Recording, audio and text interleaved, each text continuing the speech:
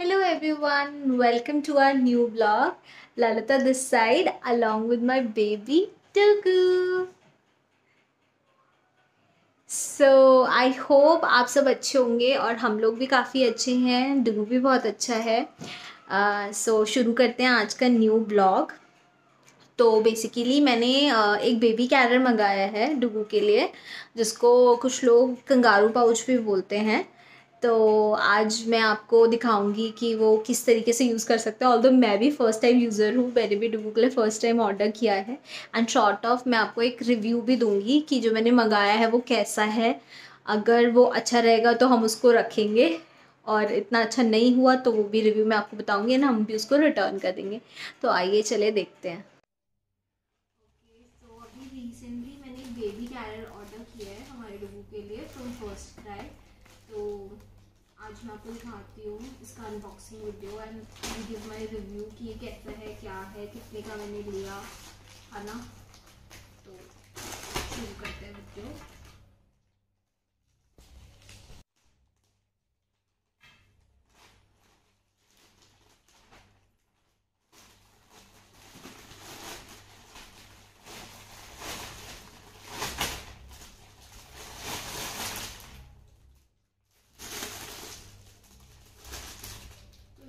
इस तरीके का बेल्ट आया इस तरीके की पैकेजिंग है इसकी. And it is from Chinmay kids जो इसका जो ब्रांड नेम है वो चिन्मय किड्स है. लेट्स सी कि किस तरीके का है ये.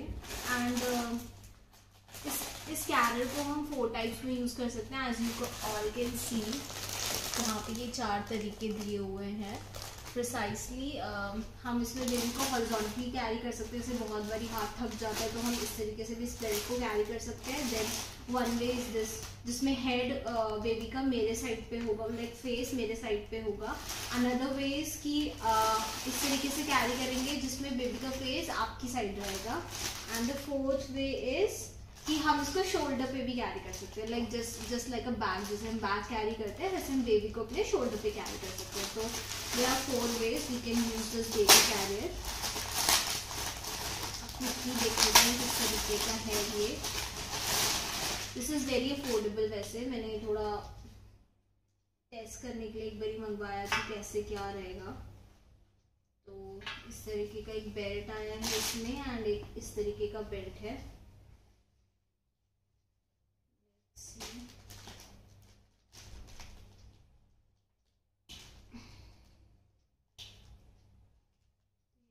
से ओपन हो जाएगा। इस तरीके का कुछ ये बेल्ट है। कैन सी इसके स्ट्रैप्स भी थोड़े ब्रॉडर हैं तो जितना ब्रॉडर रहता है, उतना हमारे लिए इजी होता है बेबी को कैरी करना बिकॉज़ विद टाइम जैसे बेबी जब वन ईयर तक का होता है बेबी बहुत जल्दी जल्दी अपना वेट गेन करने लगता है। तो इसीलिए स्ट्रैप्स ब्रॉड होने ज़रूरी है बिकॉज़ आप जब कैरी करेंगे तो उतना लोड नहीं पड़ेगा आपके शोल्डर्स पे। ठीक है? मैं देखती हूँ एक बार किस तरीके से इसको यूज़ करना है।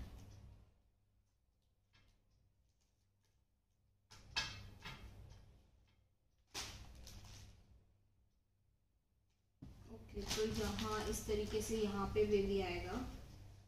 तो ये कुछ इस तरीके से होगा आई गैस इस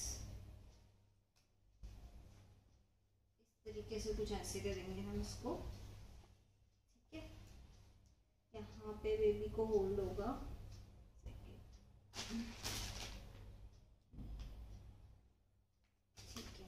यहाँ पे बेबी होल्ड होगा एंड यहाँ पे बेल्ट दिया हुआ है जिसमें बेबी को हम टाई कर लेंगे। देन connect the plugs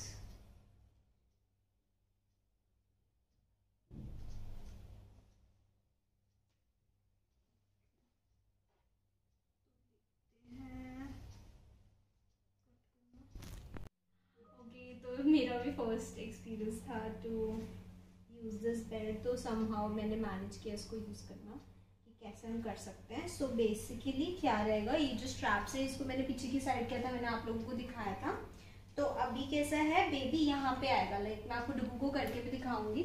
अभी ही स्लीपिंग तो एक बार वो उठ जाता है तो उसके बाद मैं आपको दिखाती हूँ। तो यहाँ पे बेबी आएगा, उसके लेग्स यहाँ से निकल जाएँगे। ठीक है?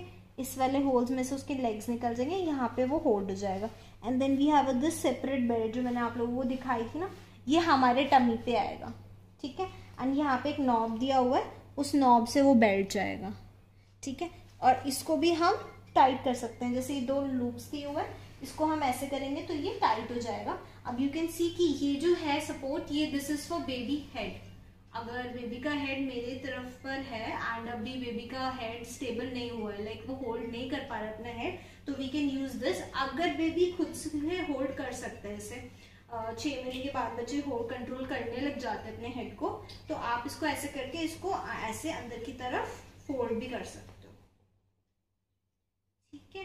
तो उससे क्या होगा बेबी इस इस वाले पॉस्चर में आप बेबी को आ, सामने के फ्रंट पे उसका फेस करके रख सकते आई होप आप लोगों को समझ में आगा एक बार मैं डुगू को जब इसमें आपको करके दिखाऊँगी तो आपको बेटर अंडरस्टैंडिंग आएगी। तो अभी एकदम से वो रोने लगे तो उसको देखती हूँ, फिर मैं आप लोगों को दिखाती हूँ। ओके देन मिलते हैं जल्दी। तो अब मैं आपको दिखाती हूँ कि डुगू को बिठा के कैसे हमारा सपोर्ट हो रहा है। तो मैंने सब जगह से टाई करी है एज यू कैन सी मैंने को होल्ड नहीं किया हुआ, वो बेल्ट के थ्रू ही टग्ड है। और वो अपना हाथ खा रहा है। गंदे। हैंड्स नहीं डालते मुँह में गंदी बात होती है। बैड मैनर्स बेटा। तो as you can see it's very comfortable ठीक है? यहाँ से हमारा बैक सपोर्ट आ रहा है, जो कि मेरे लिए इजी हो रहा है। और मैं आपको थोड़ा सा वॉक करके दिखा देती हूँ। देखो मतलब जस्ट फॉर योर सेफ्टी वैसे हम बच्चे का ऐसा करते ही हैं। जस्ट फॉर योर सेफ्टी की दिखा रही हूँ मैं। It's very safe to baby out अभी हमारे डुगू का हेड होल्ड नहीं हो पाता, उतना प्रॉपर्ली थोड़ा ही कर लेता है because it's he is four months old तो मैंने इसीलिए इसको इस साइड पे किया। अब जैसे दो महीने में थोड़ा और अपने आप खुद से कंट्रोल कर पाएगा तो फिर मैं इसको उस साइड पे करूँगी, ताकि ये देख पाए। वैसे भी हमारे डुगू को बड़ा अच्छा लगता है उधर देख के इंजॉय करना। तो यू कैन सी कि ये, मुझे तो ये बेल्ट काफ़ी सही लगा।